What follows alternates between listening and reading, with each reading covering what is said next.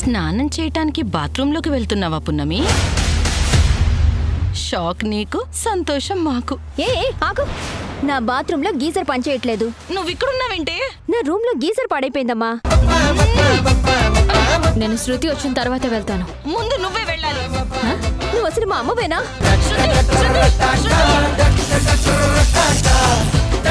జాబిల్లి కోసం ఆకాశమల్లే మీ జీ తెలుగులో.